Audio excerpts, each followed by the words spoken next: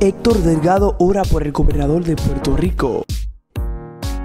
El ex cantante de música urbana Héctor Delgado, conocido anteriormente como El Father, se reunió con el gobernador de Puerto Rico, Ricardo Rosselló, y el secretario de Estado, Luis Gerardo Marín, para hablarle cómo pueden unir esfuerzos para seguir ayudando.